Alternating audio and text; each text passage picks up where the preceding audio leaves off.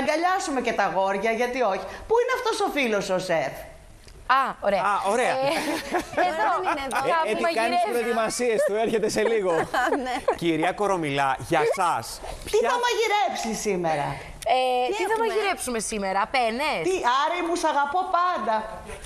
Θέλω να σας ρωτήσω κάτι. Για εσά. Τι θα μαγειρέψει; Πένες αραμπιάτα, να σας Άρη, Άρη, φέρω. άστο αυτό το πληθυντικό. Όχι, όχι. Δεν τον αφήνω. Για εσά. Α, Ιταλικό, Ιταλικό. Ναι.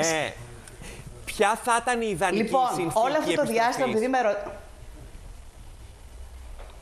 Εγώ θα σου πω κάτι. Ναι.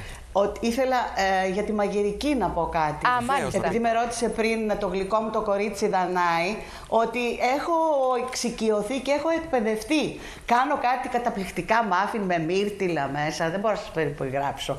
Με Α. μήλα, κάτι φοβερές μακαρονάδες.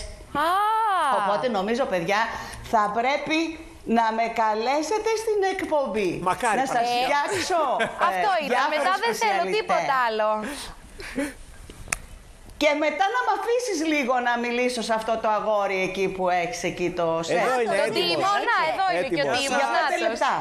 Γεια σας. Α, Ωραία. Πού είναι, δεν με αφήνουν να κοιτάξω το monitor. Μου λένε κοιτάς το monitor. Α, σας- Εγώ σας κοιτάω χαιρετάει. εσάς όμως. Σας χαιρετάει, σας χαιρετάει. Γεια σας. Γεια, Πώς γεια, γεια. είστε καλά. Καλά, μια χαρά, μια Πένες, χαρά. ε, πένες. Αραμπιάτα. Πένες. Αραμπιάτα. Χαίρομαι, χαίρομαι. Αραμπιάτα, οκ, μαζί θα φτιάξουμε κάτι άλλο. Τέλεια, τέλεια. Σε φιλώ, να 'σαι καλά. Φιλιά, φιλιά, Ανυπομονούμε, γεια σας. ανυπομονούμε. Μπορώ να ρωτήσω κάτι. Άρη,